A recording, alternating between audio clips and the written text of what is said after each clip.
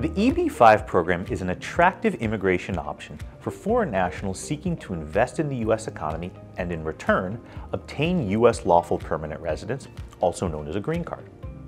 The EB-5 Immigrant Investor Program is designed to attract foreign capital and stimulate job creation in the U.S. by allowing foreign individuals to make a qualifying investment in a new commercial enterprise which will create jobs for U.S. workers. In the context of the EB-5 program, a commercial enterprise refers to a for-profit entity, whether that be a new business venture or the substantial transformation of an existing one. The minimum capital investment amount to be eligible for the EB-5 depends on whether the investor is choosing a project located in a targeted employment area or not, which also impacts the eligibility requirements.